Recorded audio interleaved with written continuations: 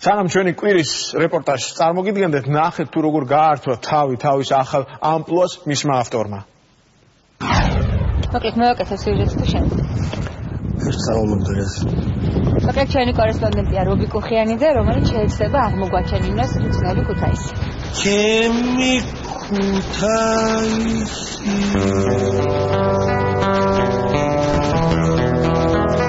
ეს ყველა ვიცი. ამაზე აღარ ველაპარაკოთ. ვიკენდია საქართველოს. ბაშობა სულ ამას დავდიოდი, შენ არ გიყვარდა ამას. როგორ არ მიყვარდა?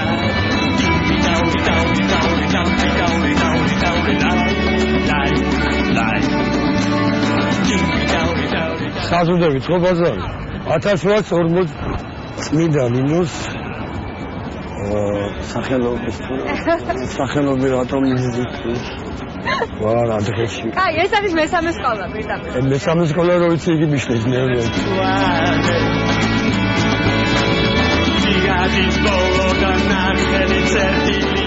აუ ერთხელ ერთხელ კიდე აქ სწავლობდნენ ახ შენ დუბლი მეში დასწრა ბოლომდე გაჭერდა მაინდა მაინც ამ სტენდაპის ჩატარა გაუჭირდა ყველაზე მეტად არდა ყველაზე კარგი სწორედ აქ მინდა და გამოსული ყო ეს ჩემი სკოლაა განსაკუთრებით გულშემატკივრ და სხვათა შორის რობისთვისაც მნიშვნელოვანია მის ცოლის აქტივობა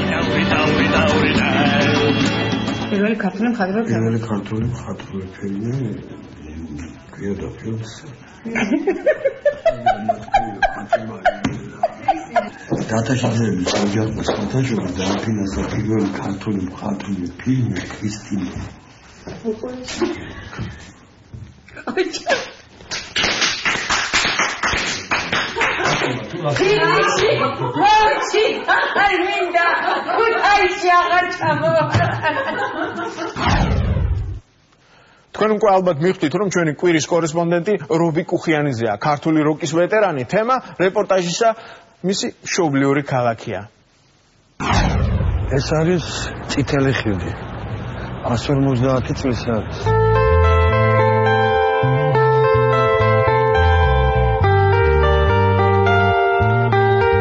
ჩემი სიმღერის არ იყოს ამ ქალაქში ისე ბნელა. მაგრამ მე ვიცნობ ალტერნატიულ ზიან ქუთაის. ბავშვობიდან უნდა გიყვარდეს რომ ის მზიანი ქუთაისი სულთან ატარო. მეც ჩემი ბავშვობიდან მოვდივარ ჩემი ბავშვობა სკოლა. მართალია მე სკოლა არ დამიმთავრებია მაგრამ ბედნიერი ვარ რომ ჩემს ქალაქში ასეთი ადამიანები სწავლობდნენ აკაკი წერეთელი, ნიკო ნიკოლაძე, ეფთიმე თახაიშვილი, ნიკოლოზ კიფანიძე, კოლაო ნადირაძე, ვალერიან გაფრინდაშვილი, იციან ტაბიძე, პავლოიაშვილი, დიმიტრი უზნაძე, დავით კაკაბაძე, ვლადიმერ მაიაკოვსკი.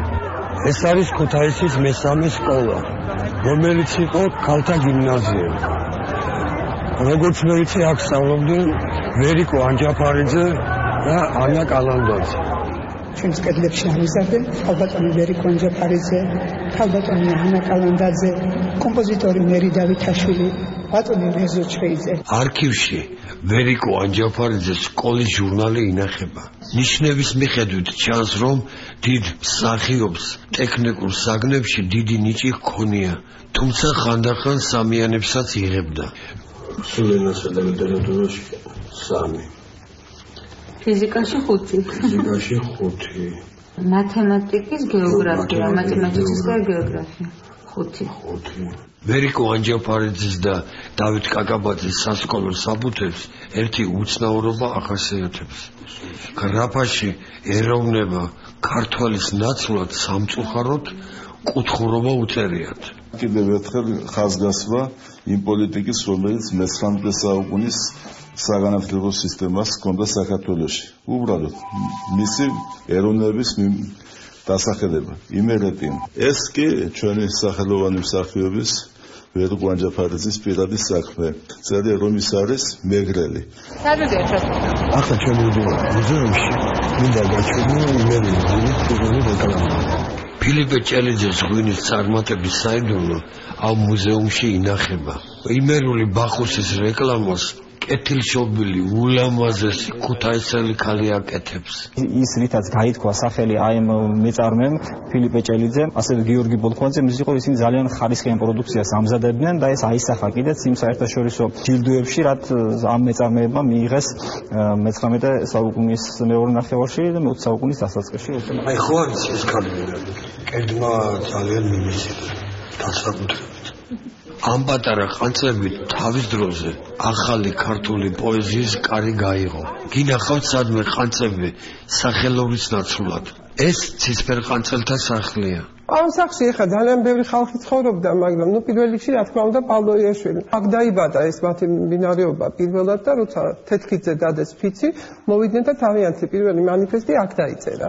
ცისფერ ყანწელთან კვალის სანახავად აქ დღემდე მოდიან ჩვენსავით მოულოდნელი სტუმრები. ერთხელ კარებზე ზარი იყო და ირაკლი აბაშიძე შემოვიდა.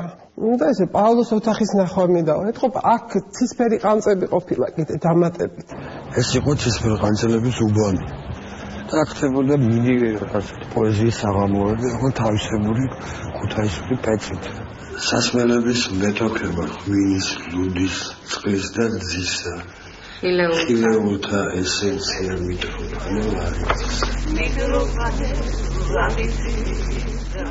ეს ლექსი აგაგი წერეთელმა ლაღიძის წყლებს მიოძღვნა ალბათ არც იცით რომ მიტროფანე ლაღიძემ თავისი უგემრიელესი წყალე ქუთაისის ერთ-ერთ აფთიაქში ექსპერიმენტების შედეგად მიიღო მე-19 საუკუნის შუა ნახევრიდან კათოლიკე ბერებმა ქუთაისში ჩამოიტანეს სააფთიაქო საქმის ხელობა. ერთ-ერთი პირველი აფთიაქი გახსნა პეტრე პავლე კოკოჩაშვილმა. სწორედ ამ აფთიაქში დაიწყო მუშაობა მიტროფანე ლაღიძემ, ჯერ კიდევ 12 წლის პატარა ბიჭმა, სოფლიდან ჩამოყვანილმა ბიჭმა სააფთიაქო შეგირდა და ალბათ მოსალეობის ჟამს სწორედ აქ დაიწყო ჩატარება ხილიული წვენის გამოსაგონებლად თავისი პირველი ექსპერიმენტების.